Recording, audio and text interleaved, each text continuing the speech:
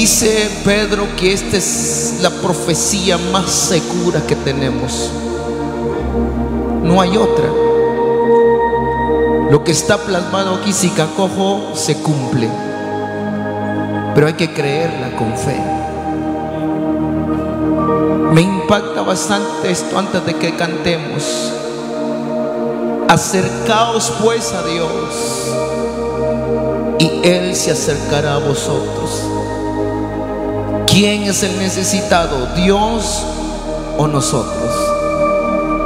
¿Quién es el que se tiene que acercar primero?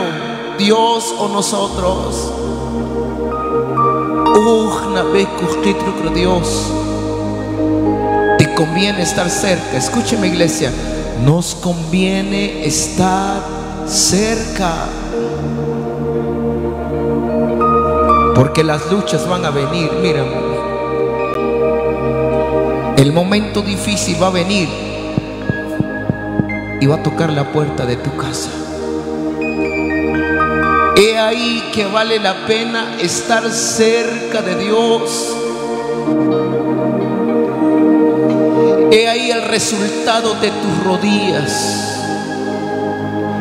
He ahí el resultado de tu oración, iglesia. Llévate esto en la mente antes que regreses a la venta de de huipiles, no sé, a tu tienda de consumo diarios, a la tortillería, a la venta de frutas, a la venta de verduras, a la venta de tacos, no sé a qué te dedicas. Antes que te regreses a esto, Chikmavi para pensar, te conviene, nos conviene estar cerca de Dios. Vale la pena bajar la persiana a las 7 de la noche si el servicio es a las 7 de la noche y cabir, Señor, voy a buscar tu presencia. Vale la pena estar cerca de Dios.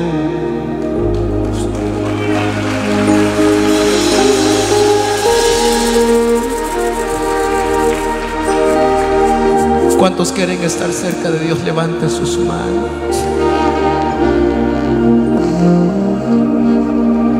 Casa tan la hombre, levanta tus dos manos y conmigo. Camina conmigo, Jesús.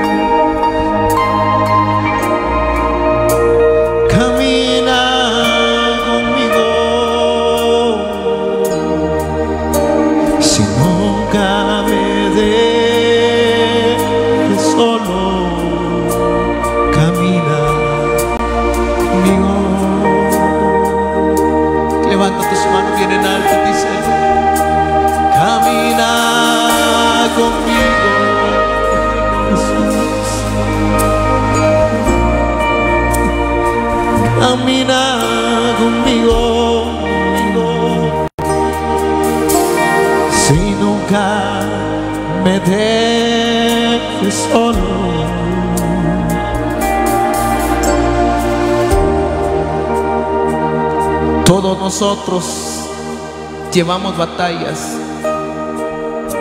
Los jóvenes luchan contra la pornografía. Las señoritas luchan contra eso. El padre lucha con su trabajo, con su negocio. El padre lucha con sus hijos. Lo platicábamos con Wilson ayer que a veces el enemigo busca dónde entrar. Pero dice, someteos pues a Dios. Y el diablo huirá de vosotros. ¿Cuántos creen que hay poder en Cristo Jesús, hermanos?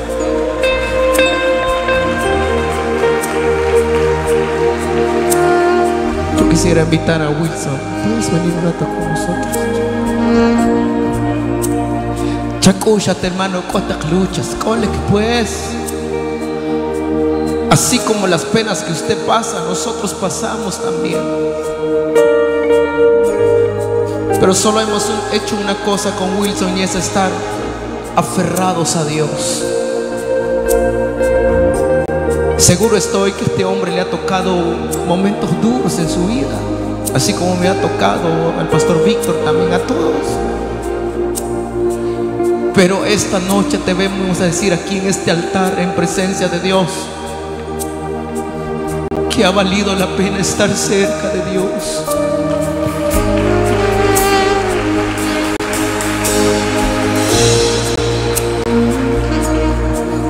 Yo conozco el testimonio de Wilson y él lo testifica. Y sabes que Wilson, te digo algo con todo mi corazón.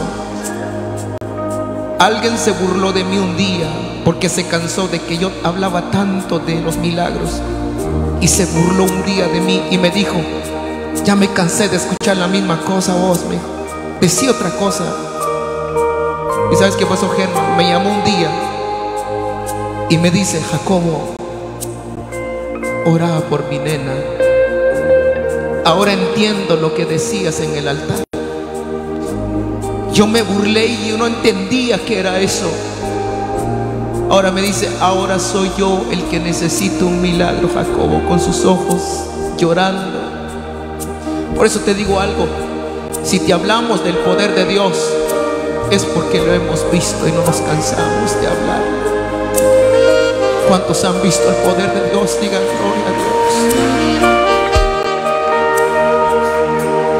Otra cosa le digo, mire, no importa que yo cante una alabanza, solo quiero dejarles, yo siento, alguien siente presencia de Dios, aquí levante su mano y diga gloria a Dios. Un día, hermano, nunca te burles de la persona que está pasando por un momento difícil, nunca lo hagas. Ay de ti si te burlas de alguien que está pasando por un momento duro, que no sabes si a ti mañana te toca. Al contrario, anímalo. Ora por esa persona. ¿Cuántos quieren orar unos por otros? Levántese, póngase de pie, póngase de pie. ¿Alguna vez le hemos pedido a Dios, úsame Señor? ¿Cuántos jóvenes no le dicen a Dios, Wilson, úsame? ¿Cuántos no le piden a Dios, Señor, chicolen que esté mal, güey? ¿Cuántos quieren ser usados por Dios esta noche? ¿Cuántos quieren prestarle su manita a Dios? Levante su mano hacia el cielo. Y yo le voy a pedir con todo mi corazón que en espíritu y en verdad usted baje sus manos al hombro de la persona que tiene a su lado. Y que usted le extienda la mano a la persona, a la persona, si es tu madre, es tu hija, es tu padre, es tu amiga, no sé. Presto Nos vamos a tomar un par de segundos para hacer una oración por cada uno de nosotros.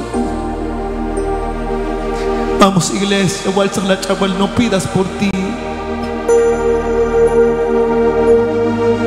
Pida por la persona que está a tu lado, Padre. Hijo Dios, Señor, que luchas, Padre. Yo te pido una doble unción sobre la vida de Wilson, Padre. Vamos ungidos. Yo te pido una doble unción sobre la vida de Wilson, Dios. Padre, por favor. Usa la vida de Wilson sea de una bendición para esta generación, Padre. Llévalo más allá, Padre. Yo no sé, Señor, cuánta envidia, yo no sé cuánto rencor. Pero yo vengo a declarar, Señor, un vallado de gloria sobre su vida. Yo vengo a declarar la sangre de Cristo sobre su familia, sobre su casa, sobre su ministerio, sobre banda transfiguración. Yo vengo a declarar la sangre de Cristo y declaramos fuera todo accidente, declaramos fuera toda envidia, declaramos fuera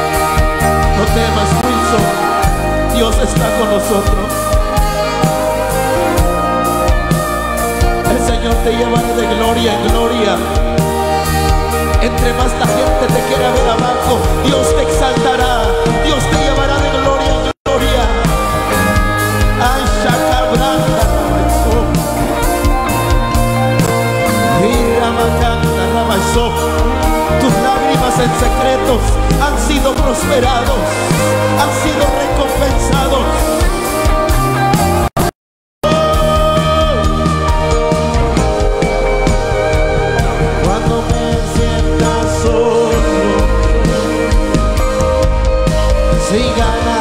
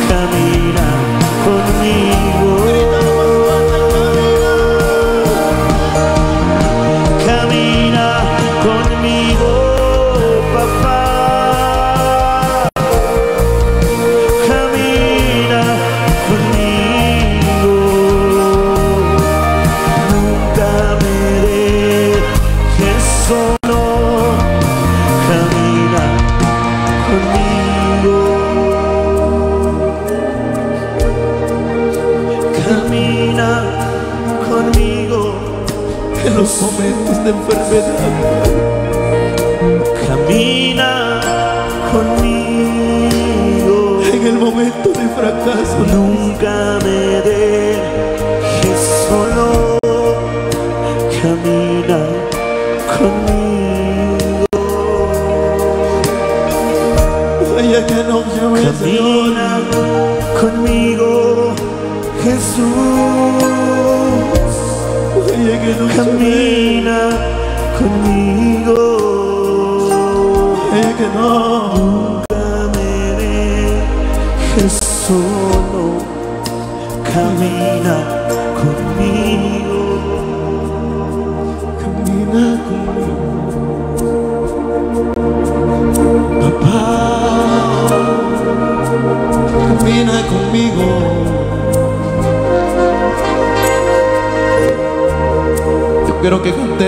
cerca de ti, Señor. Quiero estar siempre.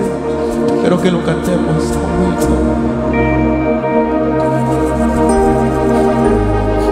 No te atrevas a estar lejos de Dios jamás. Pon tu mano en tu corazón y dile, Dios, quiero que mi corazón esté cerca de ti siempre, Dios. permitas, Dios, que mi corazón se aleje de ti. Yo quiero estar cerca de ti, Señor. Vamos a darle un aplauso a Cristo Jesús con todo tu corazón.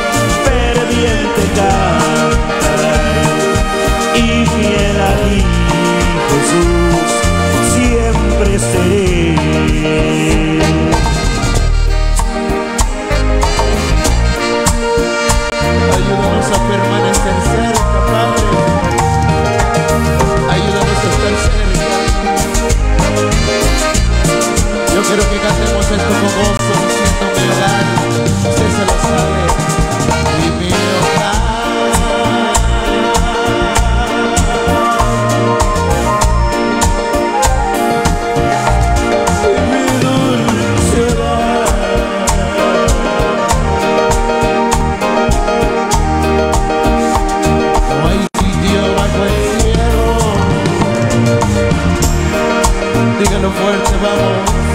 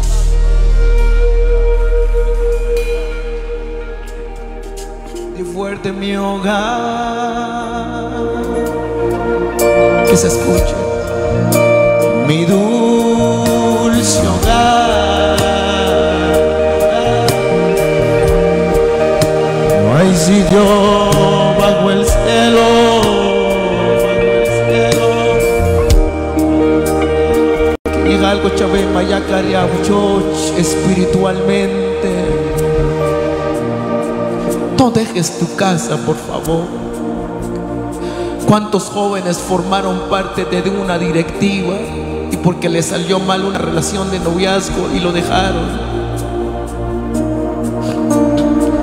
No vale la pena dejar a Dios por cosas. ¿Cuántos quisieran que Él fuera su primer amor? Levante su mano y diga, Padre, quiero que tú seas. Que me diga algo, Chávez aunque se burlen de ti, aunque no valoren tu trabajo en la iglesia, a veces no valoran lo que hacemos, pero no fuimos llamados para que valoren nuestro trabajo.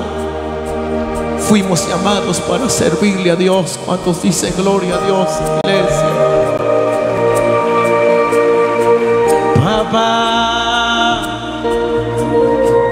Fuimos llamados.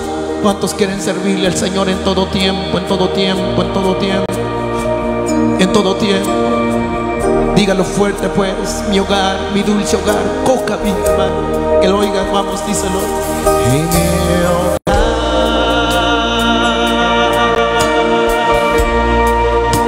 Mi dulce hogar.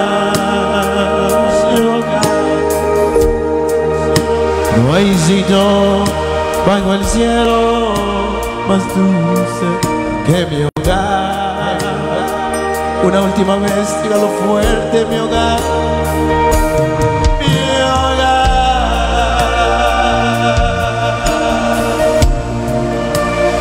Mi dulce hogar.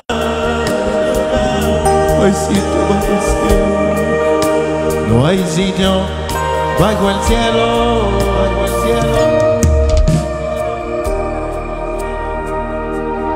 Se aguanta un momento más así como está. ¿Cuánto sienten la presencia de Dios, hermanos? La gloria de Dios. Está su presencia aquí. Nosotros casi terminamos. Quiero decirle algo, hermano, que el Señor durante estos tres servicios, cuatro servicios, que el Señor me ha dado el privilegio de estar aquí, el Señor ha obrado en mi vida. El Señor ha hecho cosas, algo bien poderosa en mi vida. Yo espero que te vayas con nuevas fuerzas tú también de este lugar.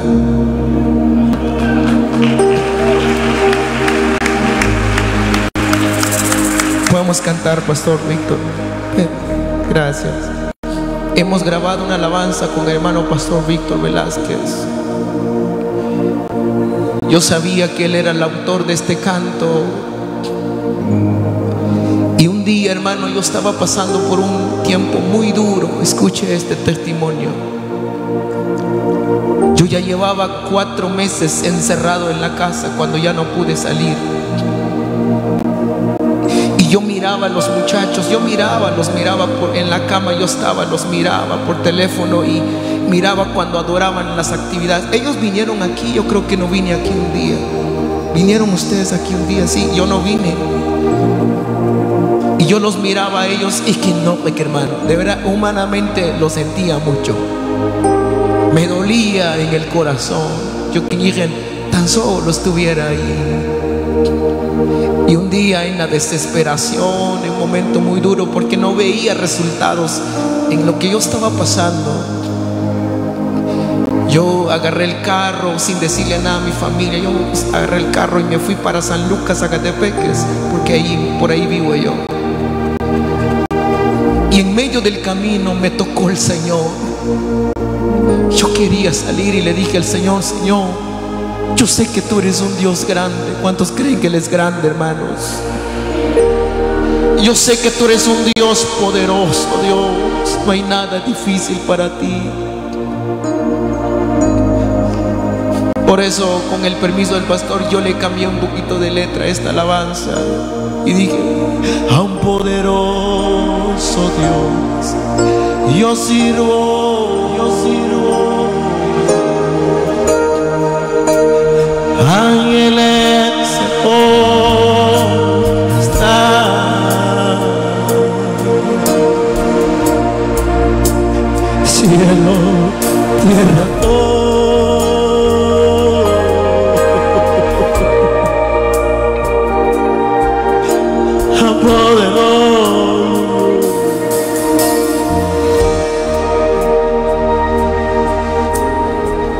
Yo recuerdo que lo llamé al pastor y le dije, pastor, yo quiero grabar esta alabanza. Usted me dio el privilegio y gracias, pastor. Me dio tanta pena y tanta lástima un hombre que dijo un día, Dios no tiene necesidad de las personas. Dios no tiene necesidad de nadie. Y digo yo, claro que sí. Dios ha usado la vida del pastor Víctor Velázquez por muchos años. ¿Cuántos han sido bendecidos por la vida del pastor? Digan gloria a Dios. Dios nos ha sido bendecido. Claro que sí, Dios puede usar nuestra vida. Si Dios, y Dios te va a usar. En medio de este canto, si que cojo, canal de que el biplaglón, canal de que el este canal los problemas que y vas a recibir gozo. Si crees que tenemos un Dios grande, un Dios poderoso, un Dios que le servimos, que está con nosotros siempre, que no nos dejará.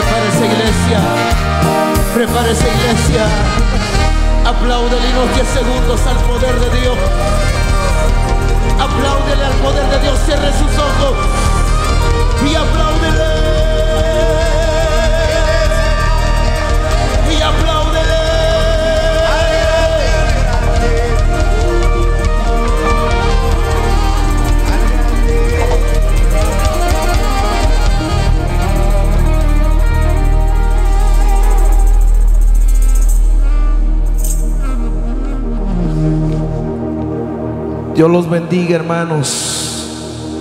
¿Cuántos están agradecidos con el Señor? Digan amén.